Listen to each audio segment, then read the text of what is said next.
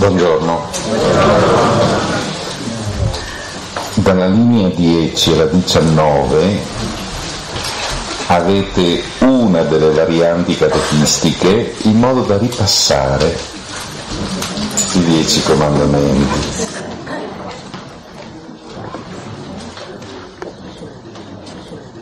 Ogni tanto mi verrebbe la tentazione di scendere giù col microfono e dire dimmi qual è il settimo comandamento. Boh. Eh, e l'ottavo?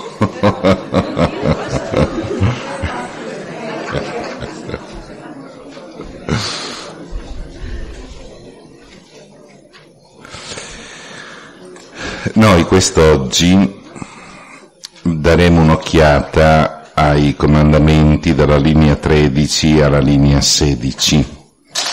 Sono i quattro comandamenti centrali e noi cercheremo di capire cosa sta sotto, perché dire onora il padre e la madre, conosciamo già dove sta il problema,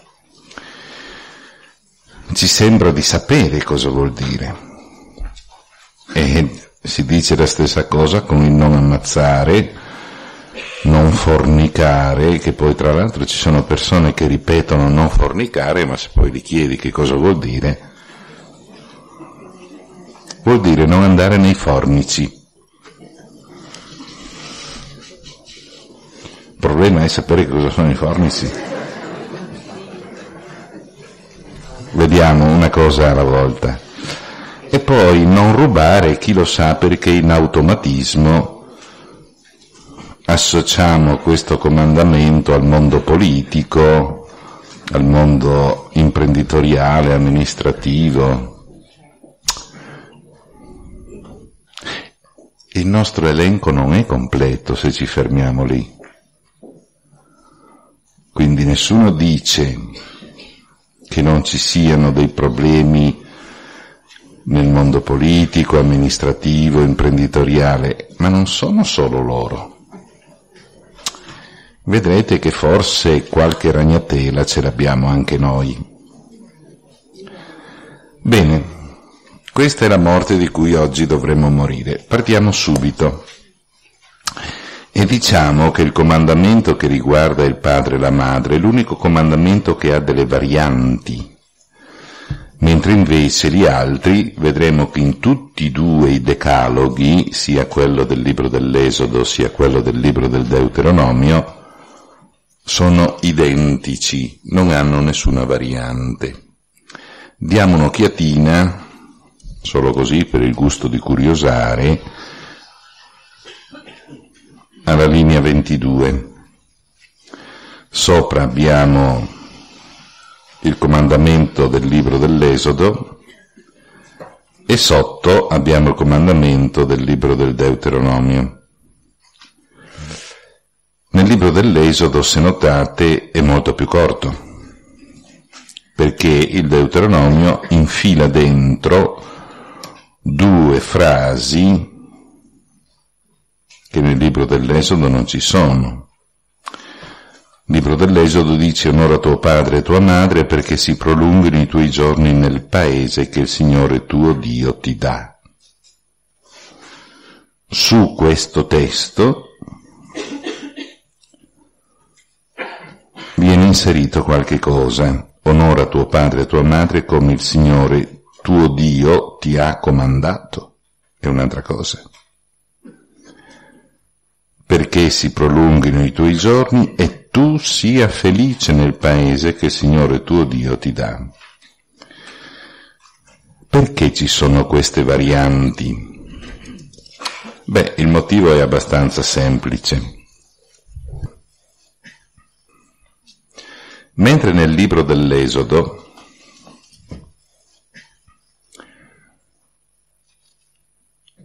noi presupponiamo dal racconto di trovare gli ebrei ai piedi del Sinai e quindi all'inizio di quel grande cammino che appunto è l'Esodo. il paese è ancora davanti, bisogna ancora entrarci. Vivere nel deserto ovviamente non è una vita semplice, è una vita grana. E nel deserto ovviamente si muore prima. In una terra che produce frutti, dove si è stanziali e non nomadi, la vita ha qualche anno in più. E quindi il libro dell'Esodo parla in questi termini, onora tuo padre e tua madre, perché si prolunghino i tuoi giorni nel paese che il Signore tuo Dio ti dà. Sembra quasi che l'onore dato ai genitori sia compensato con la terra e la vita lunga che ne deriva. Questo è ciò che presuppone il racconto. Il racconto nel libro del Deuteronomio presuppone che si sia alla vigilia dell'entrata nella terra. Gli ebrei si trovano nelle steppe di Moab, si trovano a destra del Mar Morto, guardando la cartina geografica, Mosè lì fa il grande riassunto dei 40 anni precedenti e lo fa a ragion veduta, non perché i suoi destinatari abbiano dimenticato quello che è successo, ma perché non l'hanno conosciuto. La generazione degli ebrei che è uscita dall'Egitto è morta nel deserto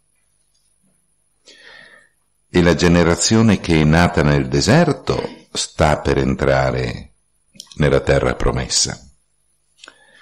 E quindi questa generazione non ha conosciuto le famose piaghe d'Egitto, il cammino fatto nel deserto per arrivare al Sinai, non ha conosciuto l'esperienza del Sinai.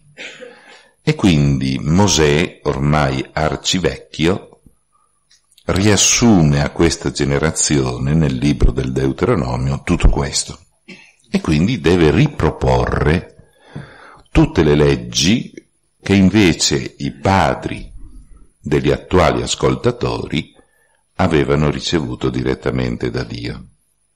Mosè le deve ripetere e quindi le ripete con delle varianti. Questa è la superficie, quello che si legge. Poi arrivano i biblisti e dicono guardate che non è così. Purtroppo abbiamo un compito, quello di disilludere le persone qualche volta. Il libro dell'Esodo, o meglio il Decalogo, così come noi lo leggiamo oggi nel libro dell'Esodo, è un testo che è stato fatto durante il periodo regio probabilmente o nella zona del Regno Unito, soprattutto Salomone, oppure nel Regno del Nord. E quindi gli ebrei possiedono già la terra. E questo spiegherebbe il tempo del verbo. Il testo non dice la terra che il Signore ti darà, siamo nel Sinai, la terra arriva 40 anni dopo, se stiamo al racconto. Mentre invece il testo dice che il Signore ti dà adesso. E il libro del Deuteronomio contiene un decalogo che nasce alla fine dell'esilio.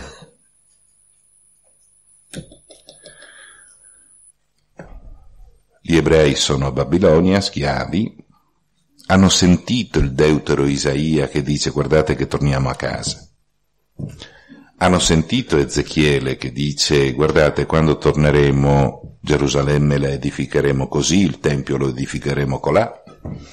Quindi sono ormai in procinto di tornare nella terra. E allora avete queste aggiunte che spiegano la situazione storica. Perché gli ebrei sono andati in esilio? Perché hanno disobbedito. Hanno disobbedito all'alleanza. E allora il levita che compone questo testo ricorda agli ebrei che bisogna obbedire e c'è l'aggiunta come il Signore tuo Dio ti ha comandato. L'altra aggiunta riguarda il passaggio dalla schiavitù di Babilonia alla libertà di Gerusalemme. Tu sia felice, libero, nel paese che il Signore tuo Dio ti dà. E lì il decreto di Ciro sta per essere scritto, quindi è questione di qualche mese questa è la spiegazione di queste varianti che trovate nel Deuteronomio. Quindi avete due situazioni storiche diverse in cui il testo viene redatto.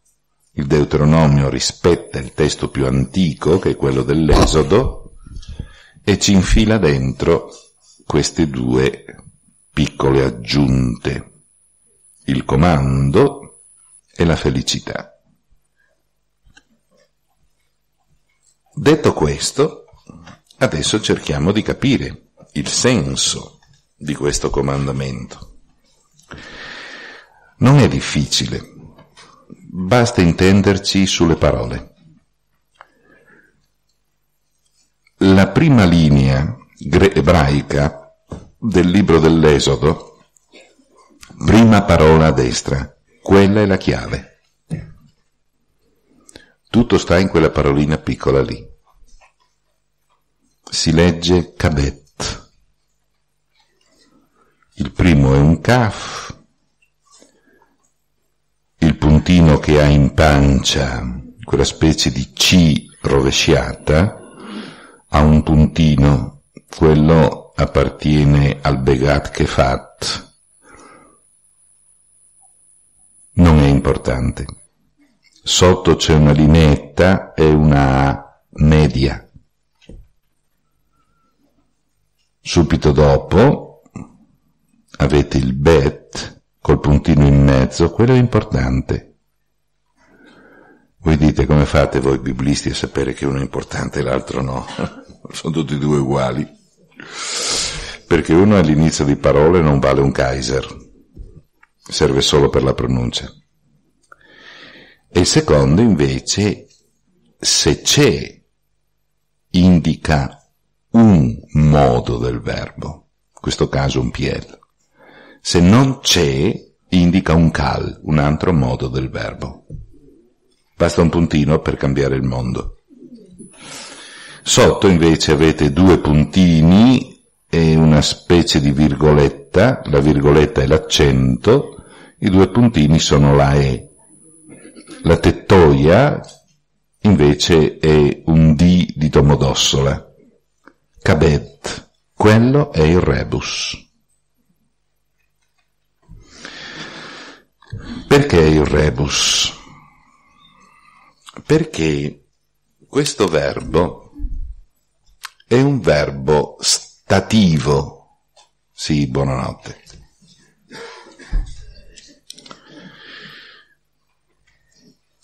Nelle lingue orientali esiste il verbo stativo che è un aggettivo coniugato.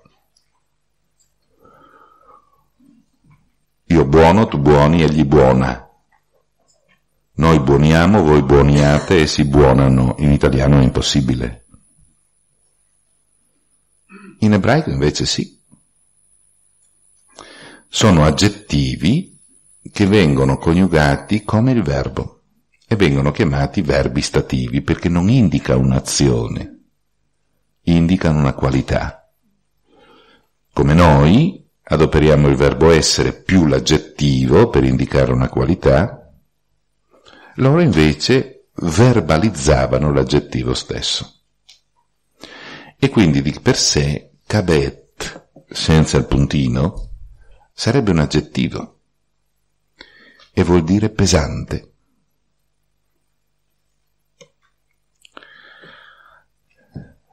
Io pesante, tu pesanti, egli pesanta. Noi pesantiamo, voi pesantate, si pesantano. Assurdo. Per loro no.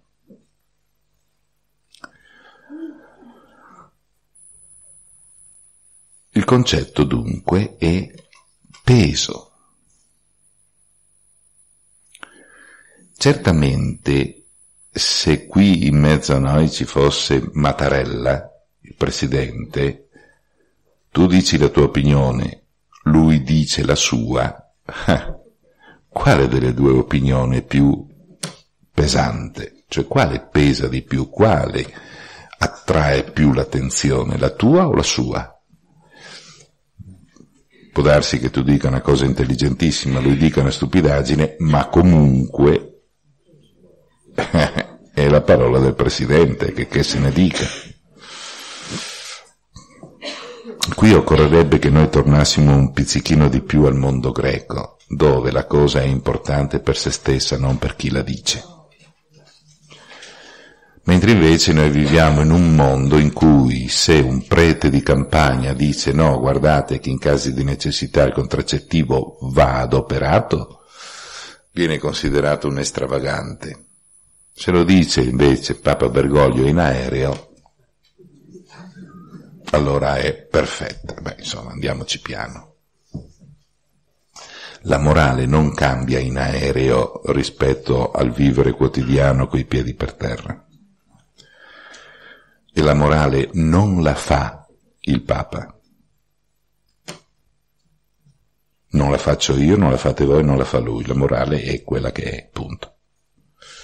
Non uccidere, non uccidere, non è che uno possa cambiare. Capire cosa vuol dire. Cabet dunque ruota sempre attorno al concetto di peso. È ovvio che in una dinamica di tipo sociologico chi è capo ha un peso maggiore rispetto ad un altro. Noi in Occidente questo peso lo chiamiamo onore. Noi in Oriente lo chiamano peso. Tu sei un uomo di peso. Noi diciamo tu sei un uomo di onore, ma non è molto bello in italiano perché richiama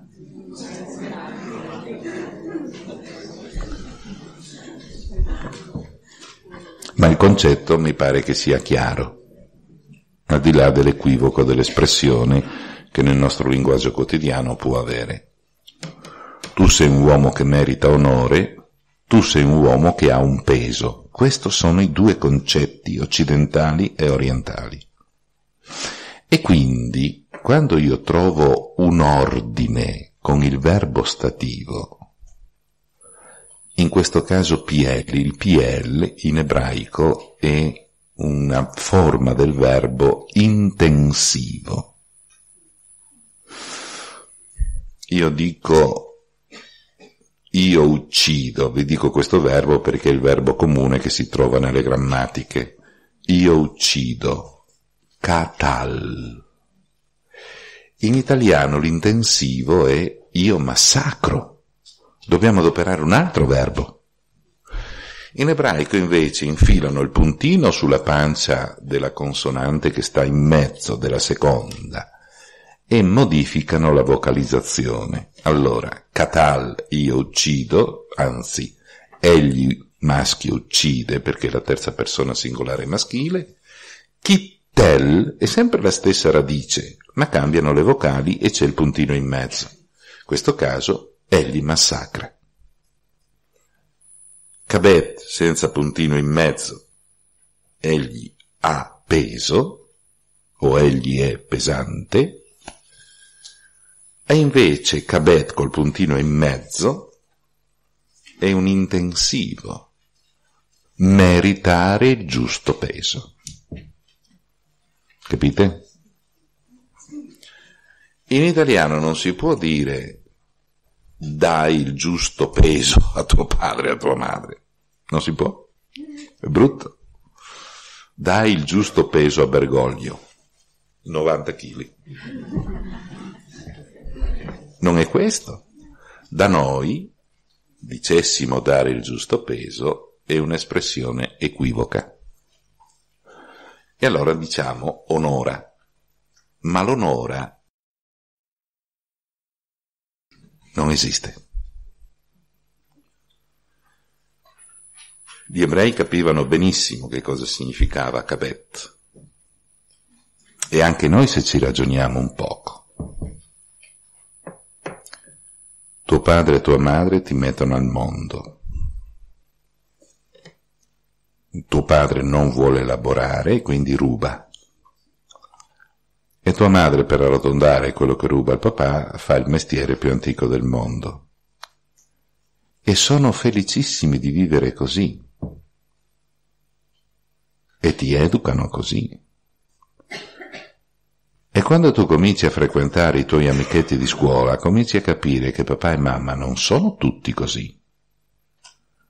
C'è il papà che sacrifica, va a lavorare, la mamma fa le economie giuste, e tu cominci a fare il paragone e dire ma quello è figlio di un papà di una mamma, io sono figlio di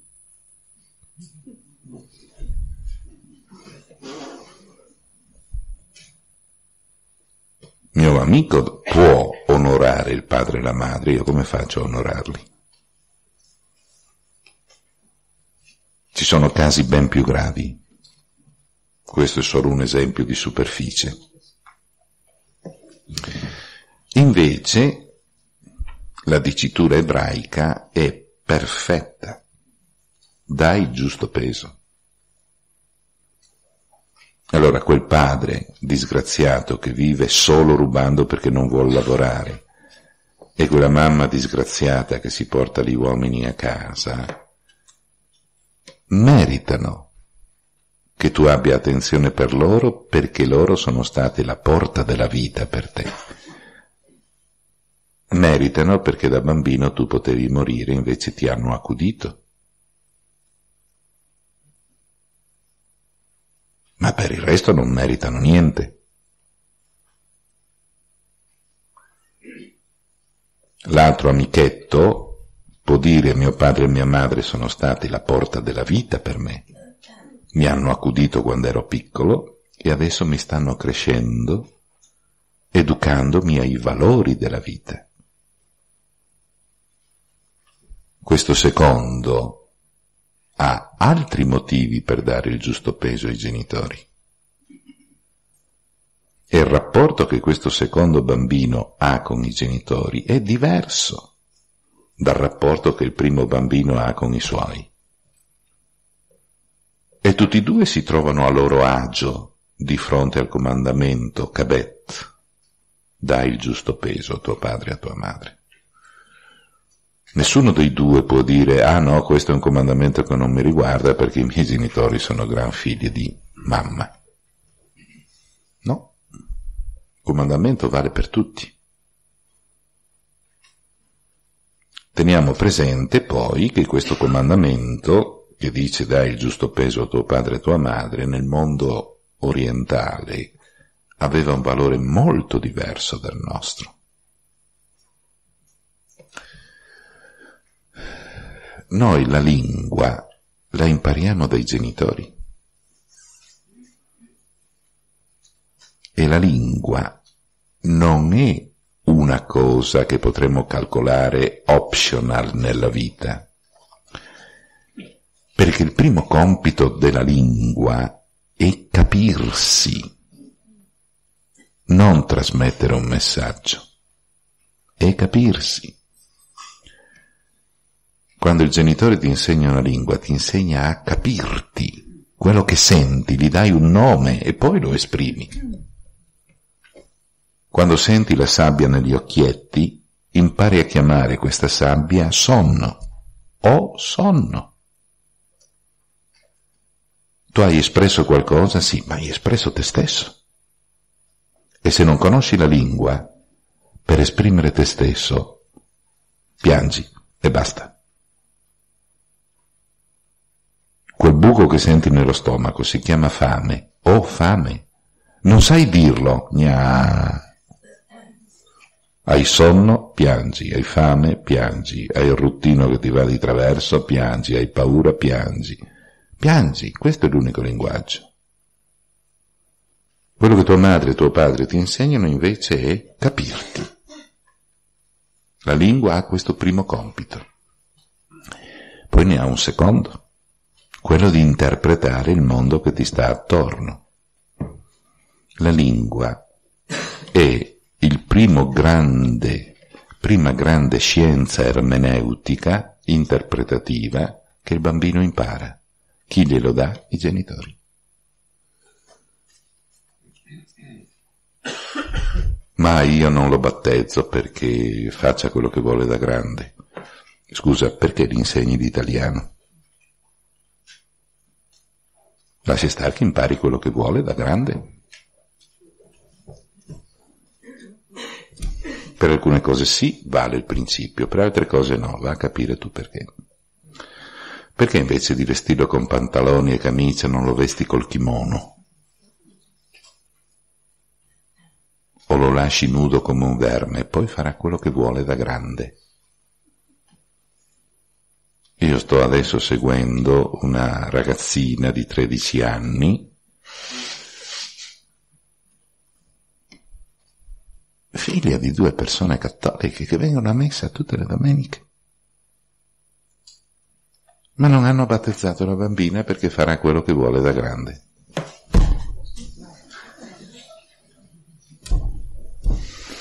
Probabilmente da una parte c'è un equivoco sul concetto di libertà e dall'altra c'è una non conoscenza omerica nei confronti di questo sacramento.